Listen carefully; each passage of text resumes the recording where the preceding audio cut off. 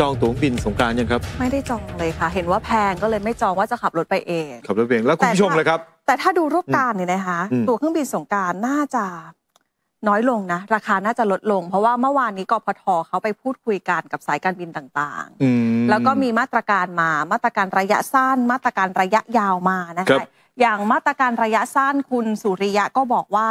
สายการบินได้เสนอขอเพิ่มจำนวนเที่ยวบินมาในช่วงเทศกาลค่ะอืม ในห่วงเช้ากับห่วงเย็นตามที่จะดำเนินการได้แหละ และระยะยาวคือกำหนดแนวทางการพิจารณา โดยคำนึงถึงความเดือดร้อนของประชาชนเป็นหลัก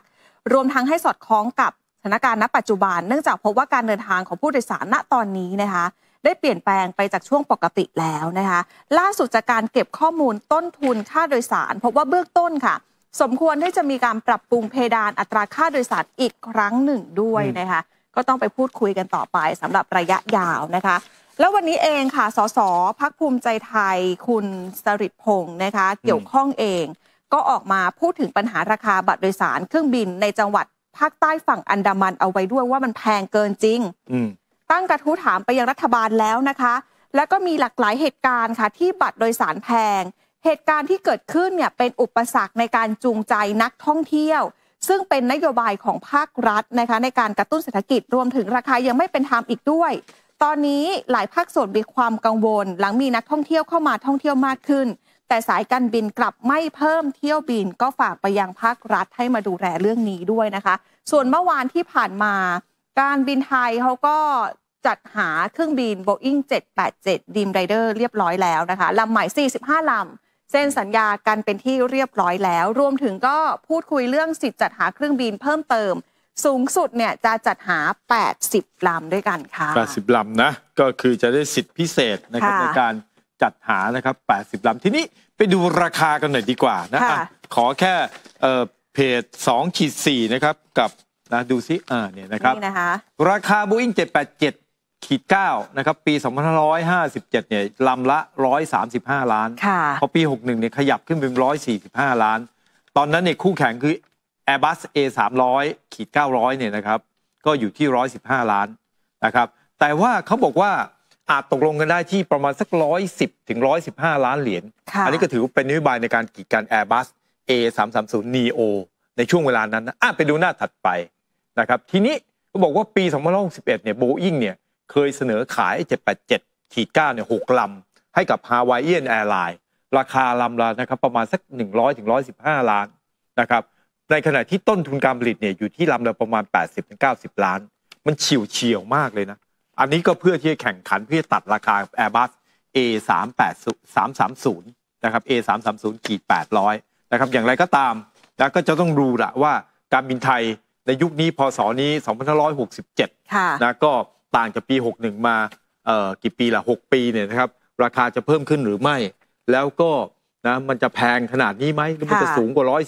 145 ล้าน หรือมันจะลงมาอยู่ที่ 100 ล้านเลยประมาณนี้ก็จับตาดูกันแล้วกันนะครับ แต่ว่าอย่างไรก็ตามการซื้อเครื่องบินใหม่ของการบินไทยก็ถือว่าเป็นการเสริมศักยภาพของฝูงบินการบินไทยครับ ก็จะทยอยส่งมอบกันนะคะ เสร็จสิ้นก็น่าจะประมาณอีก 10 ปีข้างหน้าทยอยกันส่งมา เอาละครับช่วงนี้เรากลับมาดูหุ้นกันนะครับเมื่อเช้านี้นะครับปิดตลาดเช้าใครอย่าไปคิดน้องแน่งๆอยู่ที่แบบลบบ้างบวกบ้างสุดท้ายแล้วเมื่อเช้านี้บวกไป 12.71 จุดนะครับ1,393.78 จุด เดินหน้าเข้าหา 1,400 จุดหรือเปล่านะครับแล้วก็มูลค่าการซื้อขายปาเข้าไป 40,000 กว่าล้าน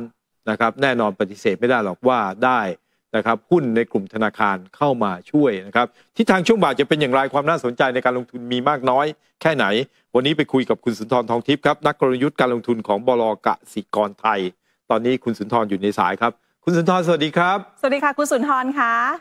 สวัสดีครับ ไม่ได้เจอกันนานเลยครับค่ะก็ไม่เจอกันนานครับ วันนี้ดูภาพแล้วเซ็ตจะไปถึง 1,400ไหมคะ อืม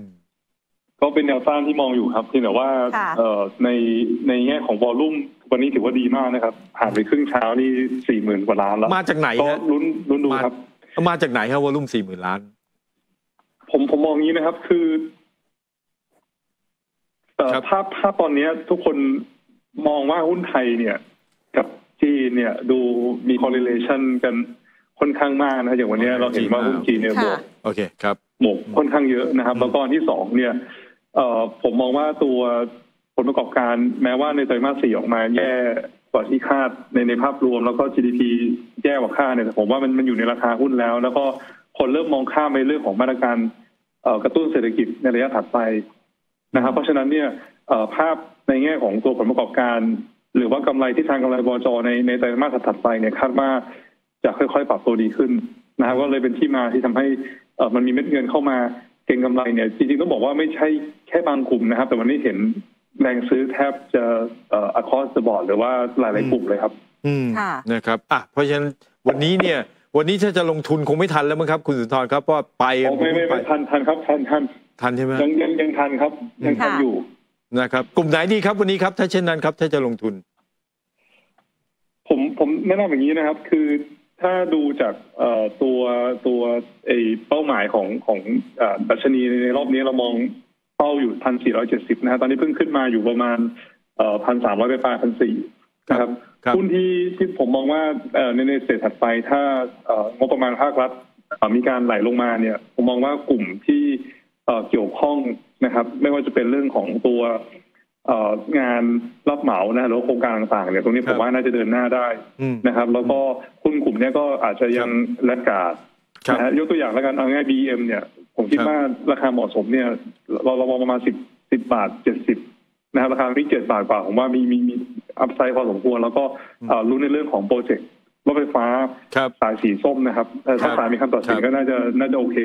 นะนะคครัรับบ ค่ะได้ครับยังไงคงได้ติดตามกันนะครับ วันนี้ขอบพระคุณครับคุณสุนทรครับขอบคุณมากได้ขอบครับคุณครับผมสวัสดีครับสวัสดีครับครับ คุณสุนทรทองทิพย์นะครับจากบลกะสีกรไทยครับน้องงามครับคุณผู้ชมครับ มาทำบุญด้วยกันดีกว่าค่ะ เพราะว่าจะเชิญชวนมาทำบุญด้วยกันจากสมาคมประชาคมคนตาบอดไทยนะคะ ขอเชิญชวนท่านผู้ชมค่ะ ร่วมกิจกรรมกุศลเดินทางมาร่วมทำบุญไถ่ชีวิตโคกระบือในวันเสาร์นี้นะคะ ซึ่งตรงกับวันขึ้น 15 ข้ามเดือน 3 เป็นวันมาฆบูชาด้วยค่ะ โดยพิธีไถ่ชีวิตโคกระบือจะเริ่มตั้งแต่ 13 นาฬิกาถึง 14 นาฬิกา 30 นาทีที่รุ่งโรดฟาร์มหนองจอกกรุงเทพค่ะ ตามนโยบายของทางสมาคมที่จะช่วยเหลือไถ่ชีวิตโคกระบือนะคะ ให้รอดพ้นจากการเชือดของโรงฆ่าสัตว์ เพื่อนำไปให้คนตาบอดและครอบครัวได้เลี้ยงสำหรับการขยายพันธุ์ได้เป็นอาชีพต่อไปค่ะท่านสามารถร่วมทำบุญนี้ได้โดยการโอนเงินผ่านบัญชีธนาคารกสิกรไทย ชื่อบัญชีอยู่หน้าจอแล้วนะคะ สมาคมประชาคมคนตาบอดไทยเลขที่ 10031368805 หรือว่า